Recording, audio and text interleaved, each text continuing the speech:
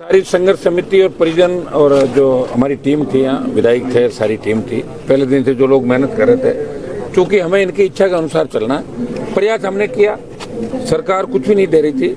पाँच पाँच लाख रुपए की बात सरकार कर रही थी, बाकी जन सहयोग और हम सबको मिलकर करना था तो फिर उसके अंदर ये परिवार सहमत नहीं है। ये कह रहे हैं जिनके खिलाफ हम लड़ाई लड़ रहे हैं, उनका पैसा हम नहीं लेंगे। परिजनों का ये कहना था हम भी इनके साथ हैं, और हम ये लड़ाई हमारी लड़ेंगे। जो हमारी मांग है, वो जब तक सरकार नहीं मानेगी तो हमारा संघर्ष यहाँ पे जारी रहेगा। इसको आंदोलन को क्या रूप दिया जाए? ये कल बैठ के सारे अभी राज्य में बैठ के तय कर लेंगे। हम चाहते हैं कि शांतिपूर्वक तरीके से हल निकले लेकिन सरकार इसके अंदर हटधर्मिता कर रही है अड़ी हुई है। सरकार उदयपुर में मुआवजा दे सकती है। तो सरकार यहाँ भी दे सकती है। कोई बड़ी बात नहीं थी।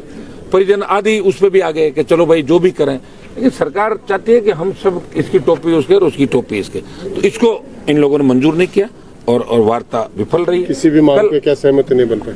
वो सारी मांगे हैं। अभी ने तो मुलजिम पकड़े आप बताएँ, तीन चार तो मुलजिम पकड़े हैं अभी तक। उन पर क्या रहेगा, क्या नहीं रहेगा? उल्टा ये सरकार ये कह रही है कि एफआईआर भी आपने सही दर्ज नहीं कर अरे आदमी एफआईआर कहाँ से दर्ज कराएगा? वो जिस तरह जिस सऊथ है, उनको देख के मैं धन्यवाद पूरी टीम को यहाँ दूँगा कि लंबे समय से लगे रहे और हम इनके साथ है कल परिजन और संघ समिति जो तय करेगी, उसके अंदर हम सब लोग साथ हैं। जैसा हमारे से सहयोग बन पड़ेगा, हम करेंगे। मेरी पार्टी आरएलपी की तरफ़ से पाँच लाख की मैं घोषणा करता हूँ परिवार के लिए मेरी तरफ़ से पार्टी पाँच लाख? पाँच लाख आवश्यक वो भी कर देंगे। एक बार ये तय कर लें कोई कमी पूर्ति होगी तो हम कर देंगे।